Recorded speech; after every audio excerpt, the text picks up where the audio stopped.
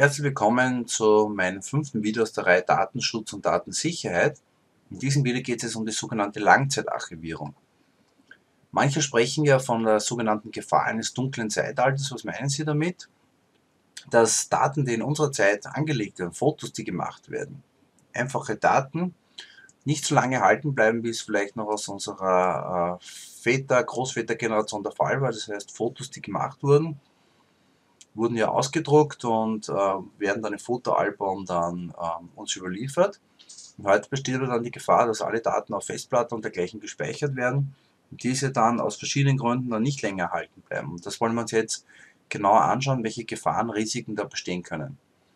Ja, es besteht die Gefahr eines Verlustes gespeicherten, dass also nur wenige Daten aus unserer Zeit erhalten bleiben und das liegt unter anderem daran, dass die Abspielgeräte, mit denen unsere Daten dargestellt werden, zum Beispiel Computer, mit der Zeit veraltern, nicht mehr vorhanden sind und dass die neuen Geräte dann diese alten Daten, die vor 10, 20, 30 Jahren ähm, erzeugt wurden, nicht mehr nutzen können. Diese Nutzung der Daten ist also dann an die alten Geräte gebunden. Man müsste also diese alten Geräte dann noch einmal bauen, wird aber in manchen Fällen dann oder in häufigen Fällen nicht mehr gemacht werden. Dann kommt dazu, dass diese Veraltung der Technik auch einhergeht dann damit, dass es neuere Techniken gibt und neue Dateiformate, neue Standards gibt und dass diese neuen Programme, diese neuen Geräte dann aber auch diese äh, alten Daten nicht mehr darstellen können. Das heißt, ohne passendes Gerät gibt es keinen Zugriff auf die Daten. So gab es vor geraumer Zeit zum Beispiel mal den Fall, dass man auf Daten aus der Mondlandung zugreifen wollte und dass das gar nicht mehr sehr einfach möglich war, weil es die passenden Geräte gar nicht mehr gab, die die Aufzeichnungen aus den 1960er Jahren dann nicht mehr sehr einfach dann ähm, wieder verwendbar waren. Dann habe ich schon angesprochen, dass auch die Abspielsoftware passend sein muss, dass also dann Textverwaltungsprogramme zum Beispiel auch tatsächlich noch dann Dateien öffnen können müssten, die vor 20, 30 Jahren erzeugt wurden und das ist gar nicht so selbstverständlich. Da müssen natürlich auch die Datenträger, auf denen diese Daten gespeichert werden, auch ausreichend haltbar sein. Und das ist aber vielfach so, wie wir es noch anschauen werden, dass diese Datenträger eher eine kurze Lebensdauer haben und dann nicht auf 20, 30, 40, 50 oder 60 Jahre ausgelegt sind. Welche Gefahren gibt es jetzt in diesem Zusammenhang? So gibt es die Gefahren ähm, von Naturkatastrophen, also kann Hitze, Wasser, kann die Datenträger ähm, zerstören, kann Häuser zerstören, in denen sich diese Computerdatenträger befinden. Es kommen auch schon Schädlinge vor, die bestimmte Datenträger dann angreifen, aber auch, wie gesagt, diese technischen Probleme, dass die Abspielgeräte oder Datenträger nicht mehr zu den neuen Geräten passen, die diese Daten dann abrufen sollen. Darüber hinaus gibt es natürlich dann auch kriminelle Tätigkeiten, Verbrechen, kriegerische Auseinandersetzungen, die ebenfalls die Daten dann zerstören könnten. Ganze Generationen eben dann ohne Erinnerung an bestimmte Zeitalter dann zurücklassen würden. Frühere Datenspeicherung, da schaut das so aus, dass wir Beispiele haben aus der letzten Eiszeit, also vor einigen tausenden Jahren. Da gab es dann auch Datenträger, man hat sie damals natürlich noch nicht so genannt, das wären zum Beispiel die Höhlenmalerei ist heute noch über viele tausend Jahre erhalten, können wir uns das anschauen. Also viel langlebiger als heutige Datenträger. Wo das im Altertum die Hieroglyphen, die ebenfalls seine Schriften natürlich waren, ebenfalls Datenträger waren, die wir heute noch lesen können, aber wobei wir bei den Hieroglyphen zum Beispiel auch anwenden können, dass sie über lange Zeit dann ja später gar nicht mehr lesbar waren, weil der Code, der dahinter gesteckt ist, also die Bedeutung hinter den einzelnen Zeichen nicht mehr klar war. Und dann ist man eben dann über diesen sogenannten Stein von Rosette eben dann draufgekommen, wie man dann diese Daten entschlüsseln könnte. Also auch das könnte uns passieren, dass wir Daten speichern und sie später dann nicht mehr so einfach verstanden werden, ähm, wie man die abrufen kann. Dann noch ebenfalls Beispiel aus dieser vordigitalen Zeit, vor der Zeit des Computers, eben das Fotoalbum, das ich eingangs zum Video schon erwähnt habe.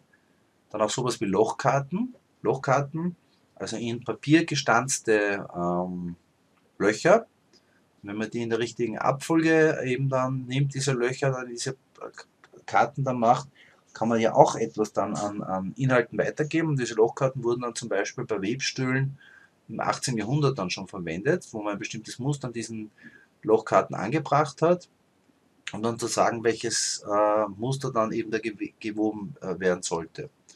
Dann, klar, äh, ein Datenträger, der sehr lang haltbar ist, in der Regel ist es dann Papier ja, Vorteil war eben diese lange Zeit der Lesbarkeit, wenn man von Lesbarkeit bei Höhlenmalerei sprechen kann und man hat es halt dann verstehen können. Was ist überhaupt die Digitalisierung? Was macht die heutige Zeit aus?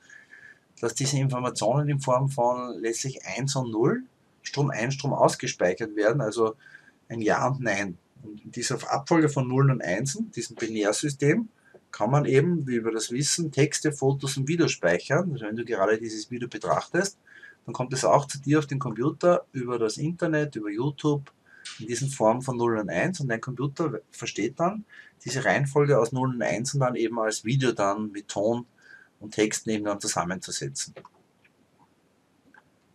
Wir befinden uns in diesem digitalen Zeitalter, äh, setzt voraus die Digitalisierung.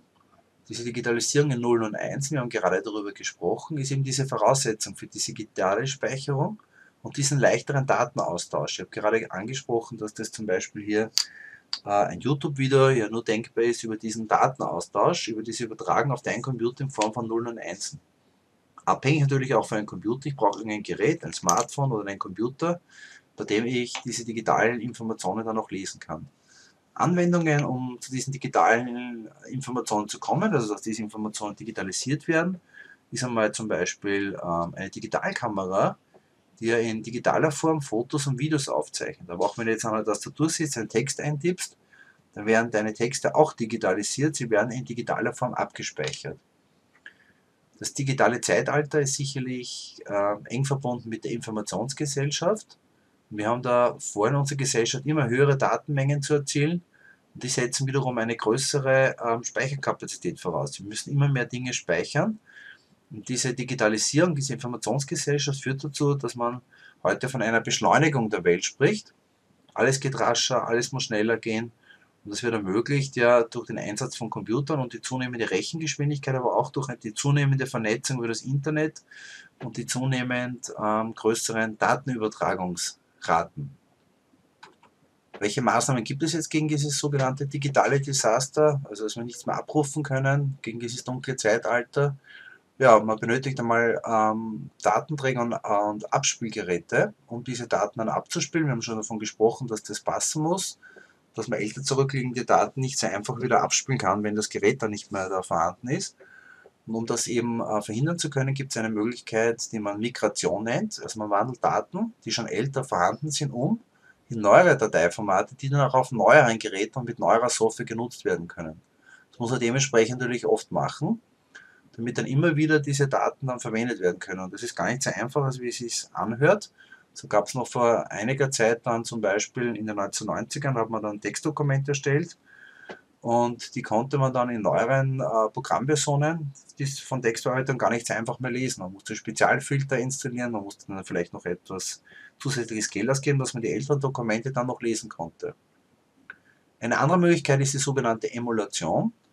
Man spricht auch von Virtualisierung, wäre ein anderer Begriff. Und dann kann man äh, bei der Emulation zum Beispiel ältere Computer, die zum Beispiel vor 20 Jahren ähm, gearbeitet haben, auf einem neueren Computer versuchen nachzuahmen.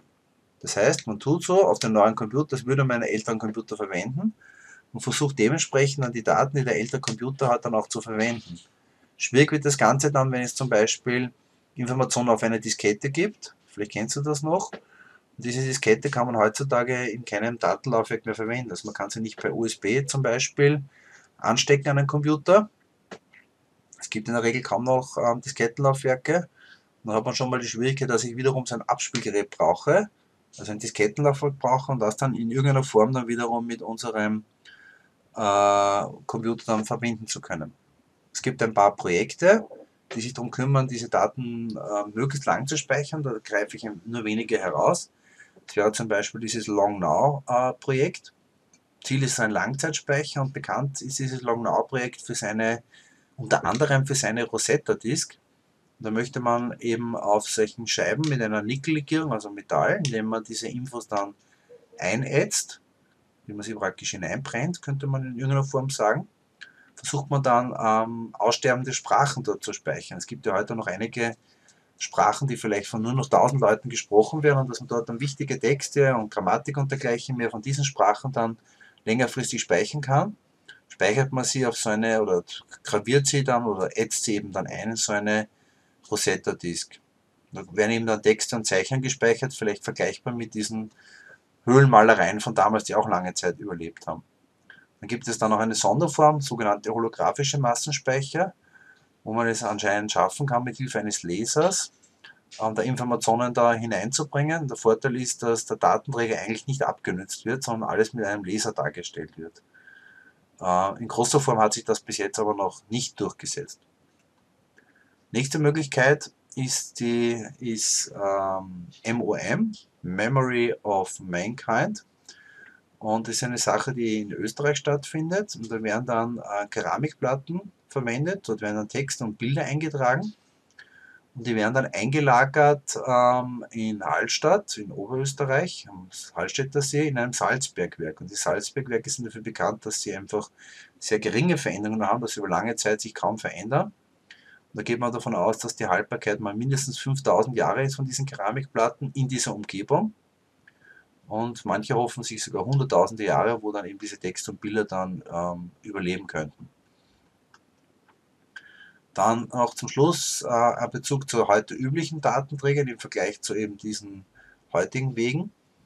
Das ist einmal äh, bei den heute üblichen Datenträgern, dass diese Lebensdauer, äh, dass es da sehr unterschiedliche Angaben gibt und dann jeweils sehr umstritten ist. Also manchmal findet man äh, Abweichungen, die einen sagen fünf Jahre, die anderen wieder zehn Jahre, andere nur drei Jahre. Aber ich gebe euch jetzt einmal so ungefähr Angaben. Bei optischen Datenträgern ähm, haben wir das Nachteil, dass sie nur kleine Datenmengen aufnehmen, leicht kaputt gehen können. Und da gehen manche von einer Haltbarkeit von 8 Jahren aus, manche äh, setzen die viel kürzer an.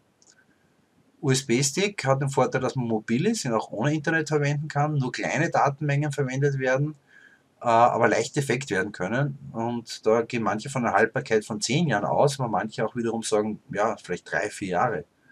Das heißt, wer all seine Daten, die ein Leben lang halten sollen, auf einem optischen Datenträgerspeicher USB-Stick, ist da anscheinend schlecht beraten.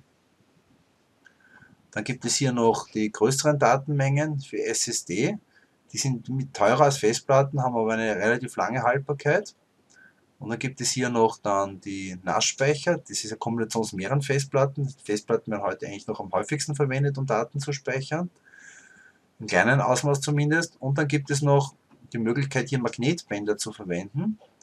Andere Bezeichnung wäre Bandkassetten, deren Haltbarkeit bis 30 bis 50 Jahre geht und vom Prinzip her ähnlich ist wie die alten Musikrekorder, Kassetten.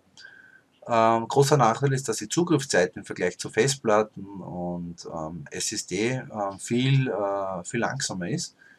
Dass die Laufwerke auch sehr teuer ist, dafür sind die Medien äh, relativ günstig. Deswegen gibt es auch heute noch einige Firmen, die Magnetbänder verwenden, weil auch noch für sich die Haltbarkeit auch noch für sich vergleichsweise sehr, sehr günstig ist. Und wenn man mal die Laufwerke angeschafft hat, dann die Medien an für sich immer sehr günstig sind und ähm, man hoffentlich hofft, länger davon ausgehen zu können, dass man die dann auch länger wird ähm, verstehen können, also länger lesen wir können. Danke für deine Aufmerksamkeit und äh, noch weiter Spaß auf weitere Videos.